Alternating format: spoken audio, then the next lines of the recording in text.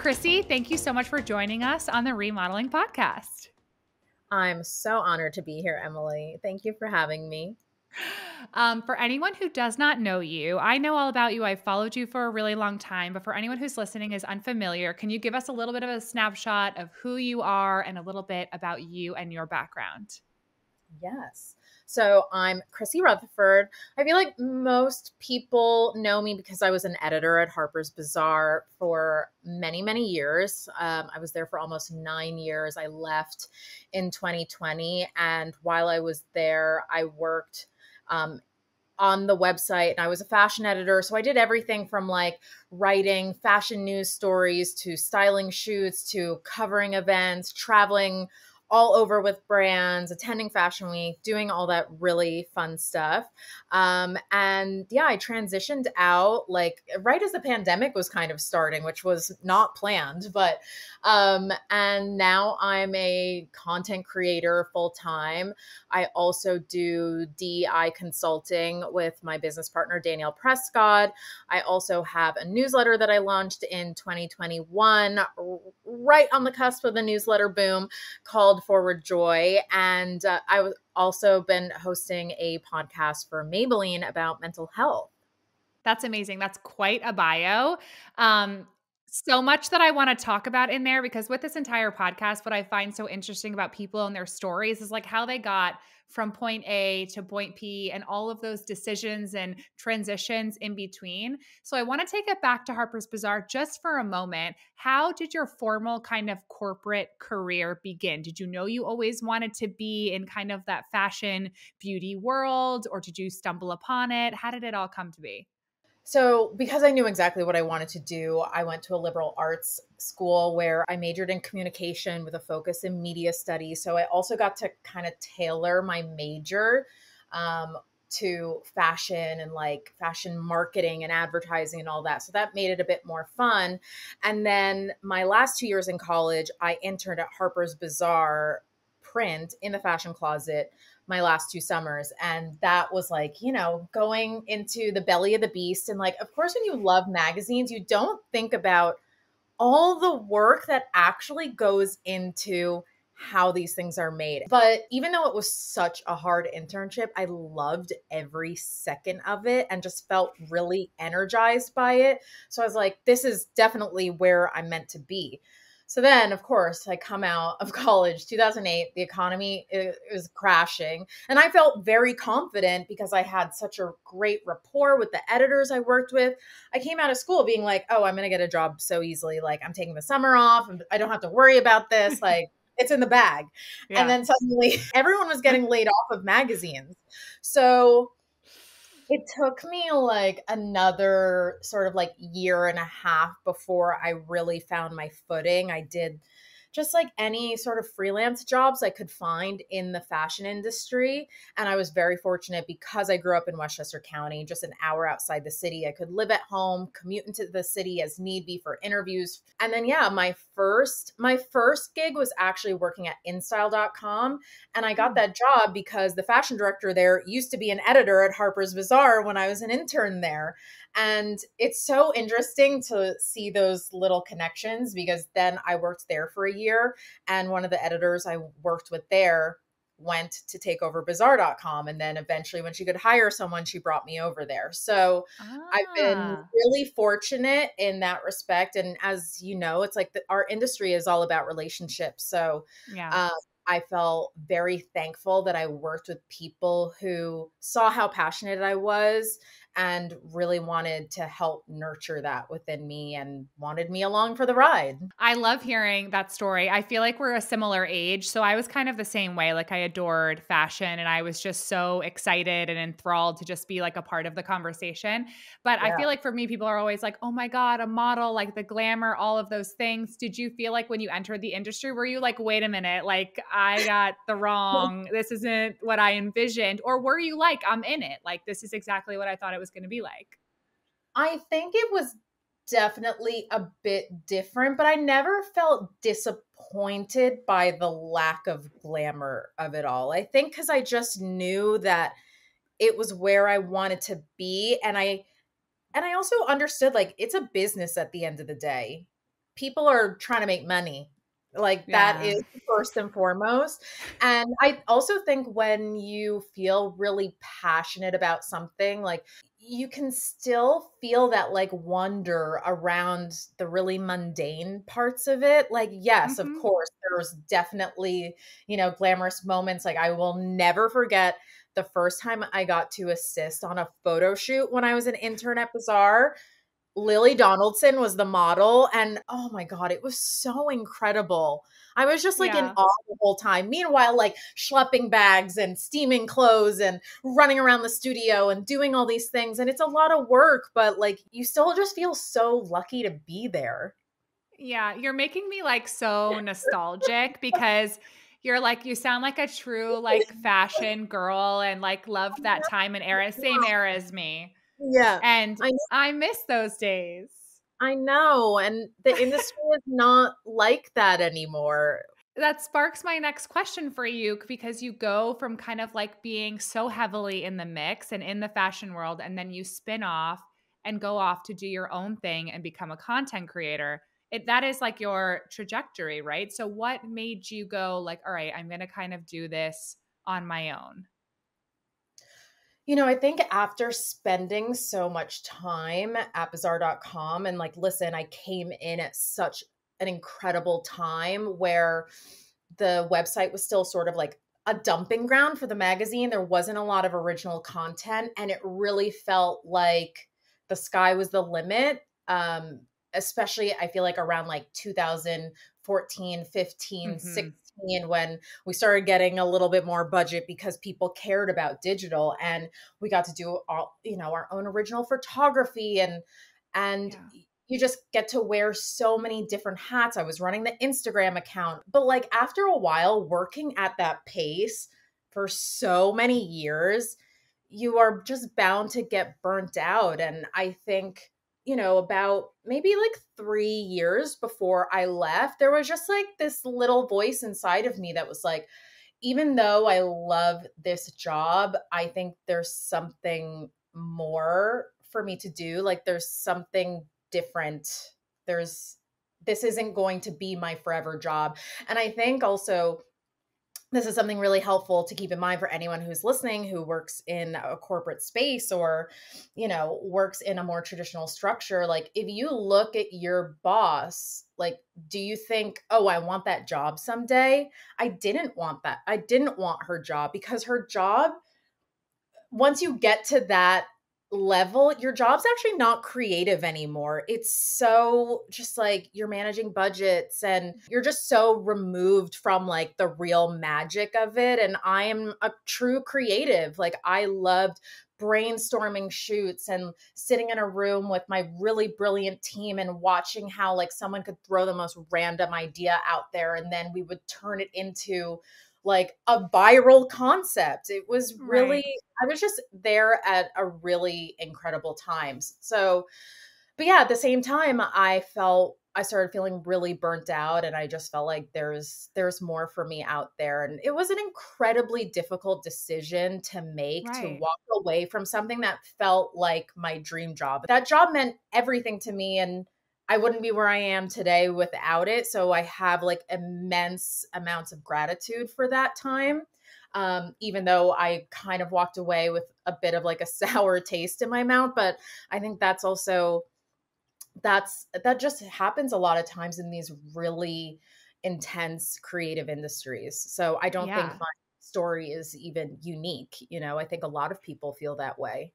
Yeah, I'm sure they do. I just find it interesting. The gravity of that decision to me would feel so like scary. And I feel like in this podcast, that's what I find so interesting is hearing like, where was these moments where you were like i need change or i need to like create this change or like make this massive decision so when you decided to go off on your own and start creating content and start consulting and now you have the podcast with maybelline were there any growing pains in that initial jump though like were there moments where you were like oh, whoops, like I don't know what I'm doing? Or did you kind of have the experience from Harper's and fashion that you were like, I know how this, I know how this works?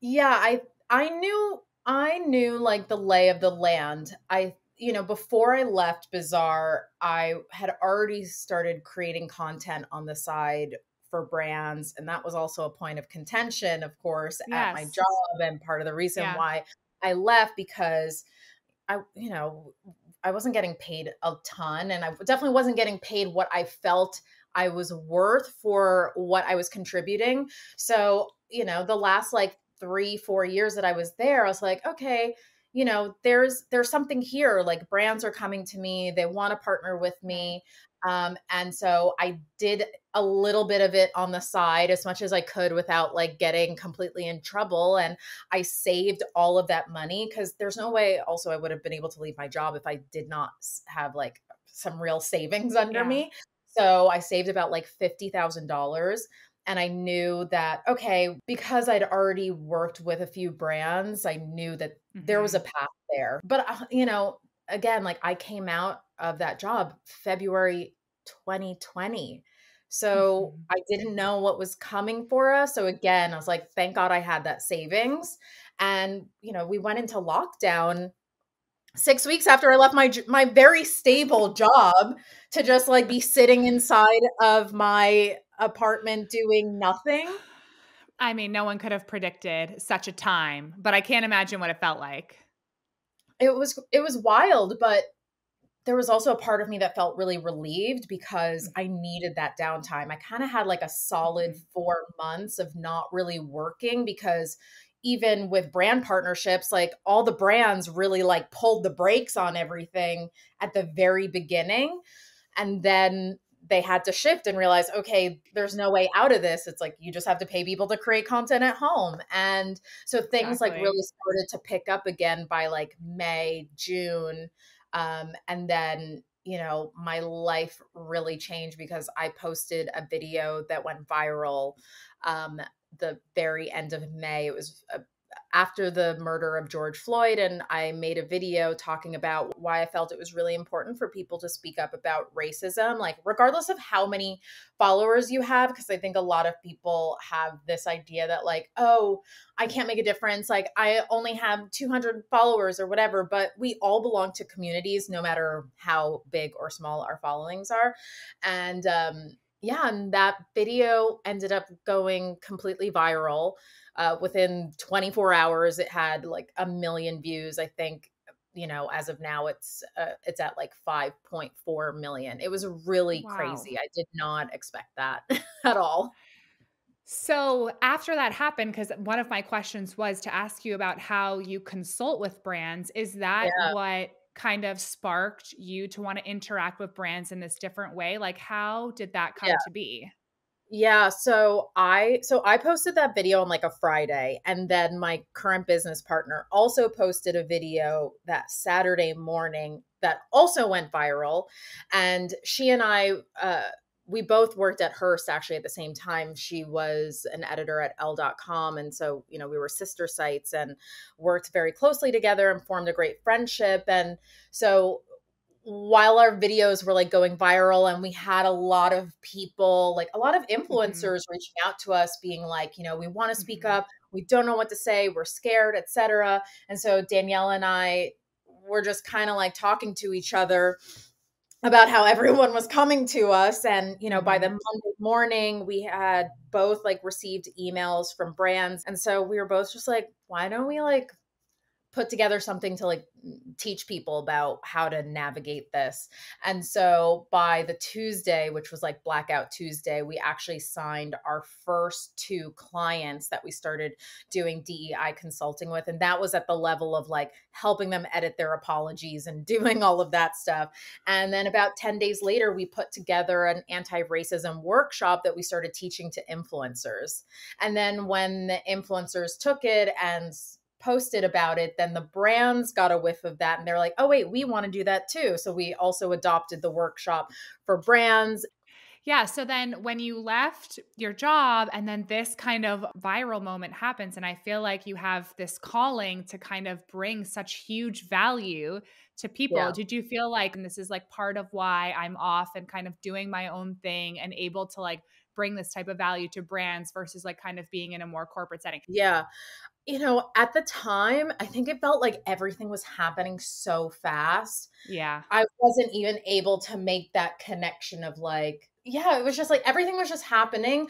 But I think kind of coming out of it, I was like, I just felt as though it was an affirmation that I did the right thing by leaving my job. Not that I ever really questioned it, but it was that moment of like, okay, this all makes sense. And I would not have had the space to create this and to be doing these things if I still had a full time job. Because I don't even know, I don't even know if I had been at my job whether I would have felt comfortable making that video. That makes sense. So, now you have you know the dei consulting and you're creating content. In terms of the other types of content that you are creating fashion beauty is there anything specific that seems to light up your community the most where people truly come to you for something specific? Or do you feel like it's just like or do people truly just want to know about you and your life I always say I think that people come to me for my style, but they stay for all the other things that I talk about. Um, yeah. You know, I'm very open about mental health. And I think when I talk about it, that really tends to get the biggest engagement, truly. Yeah. Um, and I noticed that even while I was at Bazaar, because I would say I started to be really vocal about mental health and being in therapy around like 2015.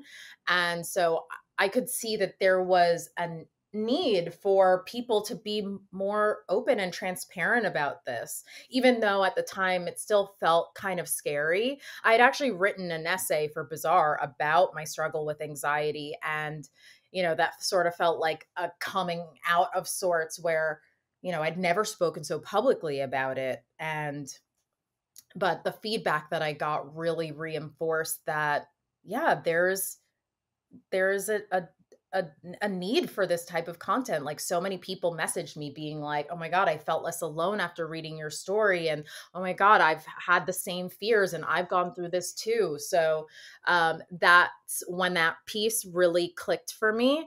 So you know, it's been fun to really bring in all the different things that I'm interested in. I mean, I'm a Pisces, so are you. Like we're not yes. meant we're not meant to just do one thing. You can't box us in. We're we're all the things. We're so Thank you. I need this pep talk. I need this pep talk right now because when I talk to my husband about all the different things that I'm like doing and pursuing, he's like, just do like one thing, like focus on one thing and do it well. And I'm like, but there's just so no, many you're not other meant things. To. You're not meant to, Emily. You are not meant to focus on one thing. You are not. i, I right want to go in two directions because I want to talk to you more about mental health, but I'm also like, oh, should we talk about astrology? I need to know more. Um, what made you get into astrology though? Where did that start? Because I do love everything you post about astrology. Like I cuz obviously cuz we're both Pisces, so I'm on the hook. Pisces are are just naturally drawn to this and I will tell you I have a 15-year-old niece that's a Pisces and I never said anything to her about astrology and by the time she was like 7 8 years old she was already talking about it she was buying crystal like crystal bracelets and then and then i was like okay i'm gonna nurture this and i'm gonna send her books and do all the things but it just i don't know it, it's just part of our nature I love it. It's it's totally part of mine. It's funny when I when I met my husband, I did like our compatible reading, like our compatibility reading on Astro.com, which by the way was a deck like this big. Oh, he printed I do it, for out. Every guy I, date. I do it for every guy I date but this is how I knew my husband was the one. He printed it out. He's a Virgo. And okay. he oh, yeah. so that. he highlighted like everything in it. And I was like, we're polar opposites, but somehow like we're finding each other in here. He does have a Pisces moon, but regardless. Oh, love that. Wait, what's your Thank you. Um, I am a Pisces Gemini rising Cancer moon. Oh wow. Okay, again, even with the Gemini, are you serious? Again, that is a solidifier. You are not True. meant to do the same thing. Geminis like love information. They love talking. Like they, yes. they want to like constantly be like talking about what is going on. Okay, well, that makes me feel better. This is like a side tangent, like pep talk that I'm really appreciating. I want to go back to mental health though, because this also yes. resonates because yes. I'm also very open on my socials about my mental health. But was there a specific moment or event for you that made you want to share more about like your mental health? Like for me personally, it was like definitely pregnancy and postpartum where I was like, yeah. wow, this is like really a thing in an area that I'm like suffering. It is truly about health. Was there yeah. an event for you that happened, or you were just like, this is something that comes up for me and I really want to share more?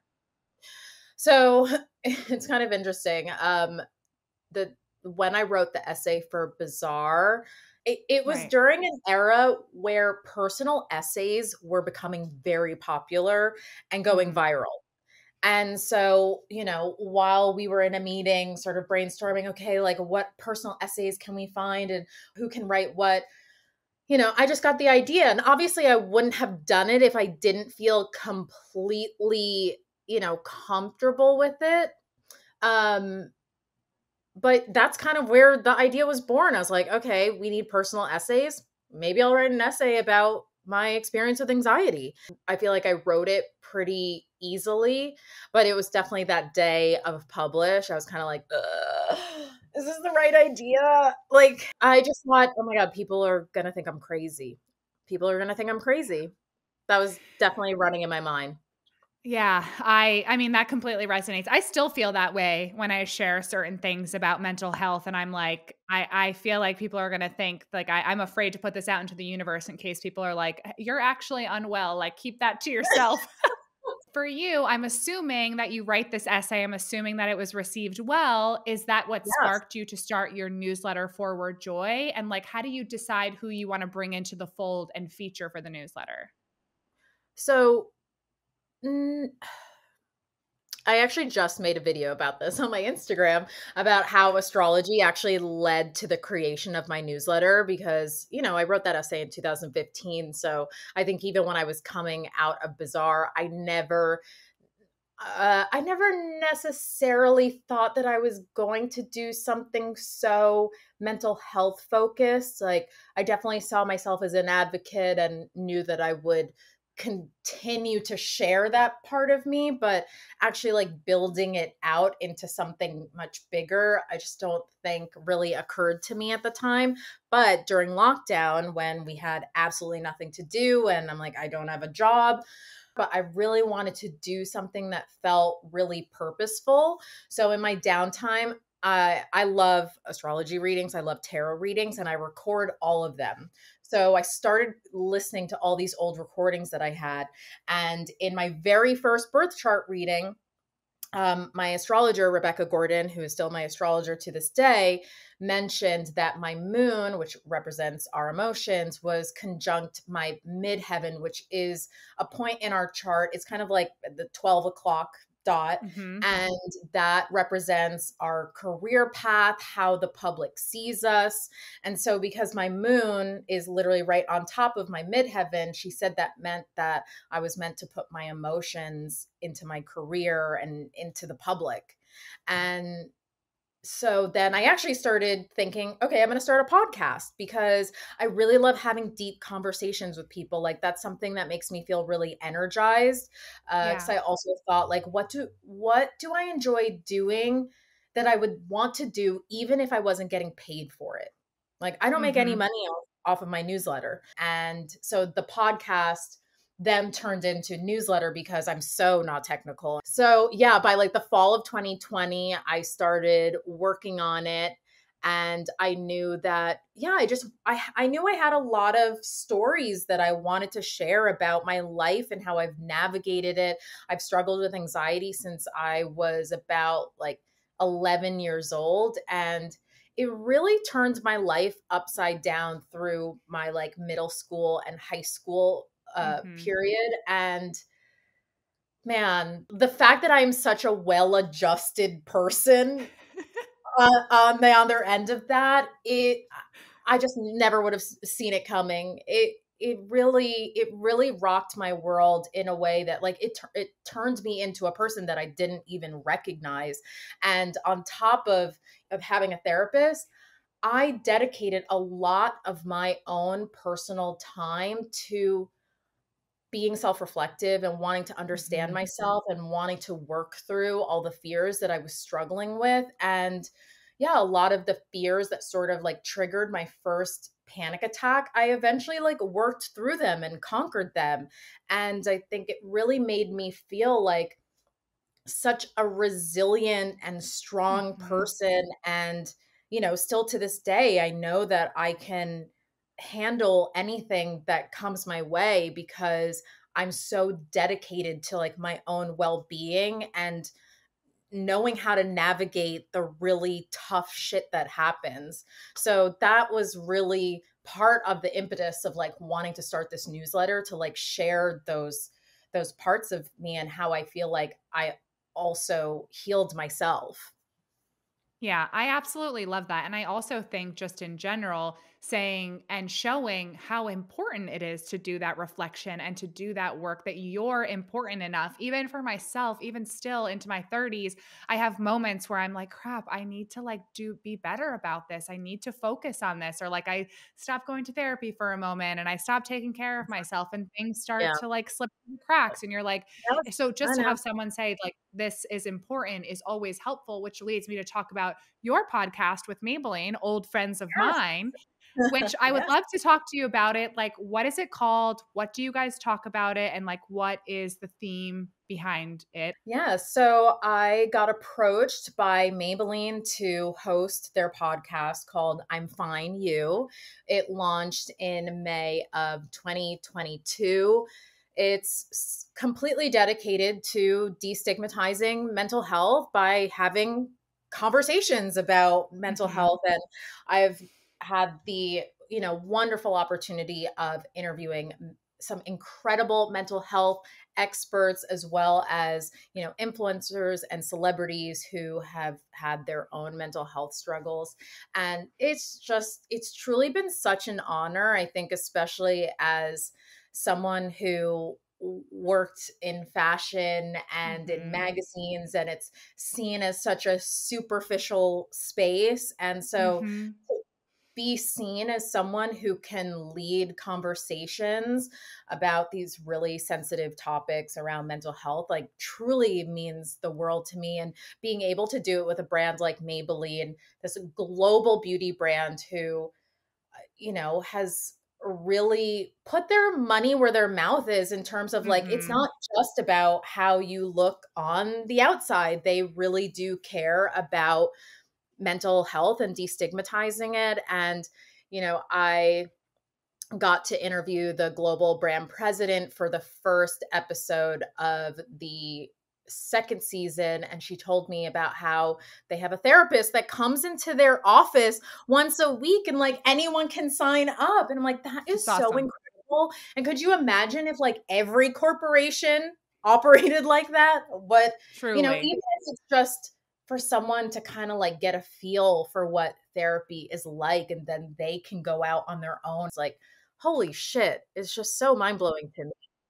That's awesome. I mean, I feel like a, a, huge brand like Maybelline and you partnering with them, just those conversations being put out in the open is so important for mental health. And I like know Maybelline has been working on that for so long to like get that yes. content out there. So I'm so happy for them. Um, I do want to talk to you. I'm like shifting gears, but I want to go back to your style. You have an amazing sense of personal style, and I when I see you, I feel like you exude exude like a certain level of confidence that I really like. Have you always been a confident person? Number one, and number two, how did you identify and like narrow down your own personal style? So I would say yes. I think I've always been pretty confident and I think that is very much nurtured by my father, who is mm. also very interested in style. Like, my mom actually could not care less about clothing. Like, getting her to take me to the mall as a teenager was such a struggle. Um, my dad is, my dad just loves to look good. And I also think it's part of my, both my parents are Jamaican. And I also think uh, Jamaicans are very confident people. It's something that is like so hard coded into the culture. So, um, yeah, I have, I think I have always been like pretty confident. And, you know, as I said earlier, like I was always interested in fashion and I, I think it was very easy for me to like find my sense of style. Like, you know, I'm drawn to things intuitively and emotionally. The way you say you were drawn to it, like intuitively, emotionally, I'm like, like a true Pisces. Like, that's how I describe things to my husband. I'm like, I'm just energetically like drawn to this thing. And he's like, what? He's like, what? um, but I do feel like I have this question for you because you and I both live and like, well, you are jet setting more than I am these days, but the Westchester area, and then you are also in London. I see you all around. How does your style change when you are like living a kind of more quiet life, I'll call it, in the Westchester, upper New York area, like myself? I've had such a style like revolution slash exorcism because I like don't know how to dress anymore since I've left New York City. So I'm curious your take on that going from London, which I feel is fashion forward, and then you come here and it's like not not fashion forward, but it's different. Right. Yeah. It's definitely different.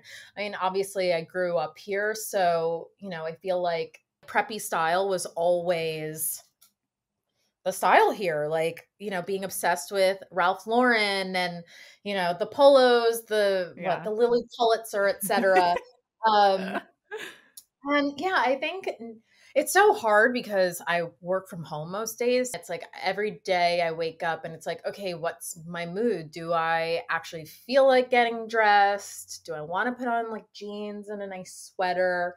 Um in london you know, the style in London is so different compared to like New York City.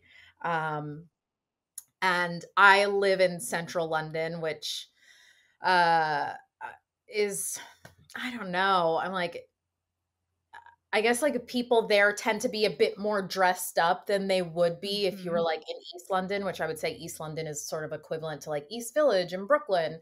Um, so you probably will see like more sort of like cool hipstery style there. Um, but yeah, if you're walking around like s- central London, it's like the women are dressed up in pumps. I love that though in trousers. Yeah, the men dress way better, way way better. Um, but yeah, I feel like women get really dressed up. You, I feel like you rarely see women in jeans. Like, sure, you do see it, not at the level of New York City, where it's like jeans are the standard. I kind of love that though. I mean, at least right now, while I'm sitting in my sweatpants, like and my two kids are running around, I'm like, I'm gonna leave you kids behind and go put on a pair of pumps and slacks, and I'll see you later. like I need to do this. I do love dressing up. Like when I Me used too. to work in an office, I dressed up every day. My and style actually, my style actually became a bit more casual as the years mm-hmm. went on and i feel like that was also heavily influenced by my fashion director at the time kerry pieri who was also like my best friend at work and in life now but she was very much a denim girl and i and now i feel like if you know how to style denim like style a denim outfit I don't know, there's something about it that feels really mm-hmm. special. Like you can obviously style it so many different ways. It can be really casual, it can be really dressed up. Uh, I feel like it requires a bit more finesse than like, oh, I'm putting on this dress, you know, or I'm putting on this skirt mm-hmm. and this mm-hmm. blouse. So mm-hmm. As yeah, as time went on, I literally, I, I think when I first started working at Bazaar, I probably owned like five pairs of jeans. It was so not like a thing for me. Um, and then and now, oh my god, my denim collection is out of control. I know, me too. But I, I hear you so hard on that. Like when someone styles denim well, there is finesse to it and craft to it. To good style in general, actually. I think Allison Bornstein, I don't know if you know her. She's like oh, well known yeah, on. TikTok. She's yes. amazing. And she said, like, even when style looks incredibly effortless, it never is. There's craft to that and there's effort in that. And like that is to be like respected and there's time and energy that's put into it. Um, yeah. but I was just curious to hear about like your personal style evolution as someone who's kind of like been in different careers and bounced around. Kind of love that I heard your entire story. Is there any remodels that you're going through right now? Any big shifts, any big changes, something that you are adjusting to right now in your life? And that's a big kind of question. Like I'm still adjusting to having two kids. I can imagine that's yeah, quite an adjustment. Yeah. Um, I think I am in the process of remodeling what my life is really going to look like for the rest of the year, especially in terms of where am I going to be located. Mm. And do you have thoughts yeah. and feelings? Like, are you leaning towards? Yeah, there is a part of me that is leaning towards spending more time in London I'm waiting to find out what a visa situation could look like. You know, I've been born and raised in New York, so yeah. that's a big reason why I started going there because I had the freedom to and why not explore like living somewhere else. I used to cover London Fashion Week when I was at Bazaar, so I was there twice a year and yeah. I made some really good friends there and yeah, there's uh, again there's something about it that feels like very energizing to me. So yeah. I just yeah, I'm interested in following that feeling. Amazing. Amazing. I'm excited for you. We have to do another session where we just talk about astrology because that was very uplifting for me. I was like, I could talk about that the entire time, but I want to hear the rest of your story. Where can everybody find you? I'm at Chrissy Ford, C H R I S S Y F O R D, on all platforms. Amazing. Thank you so much for joining us on the Remodeling Podcast, Chrissy. I loved hearing your story. Thank you so much for having me.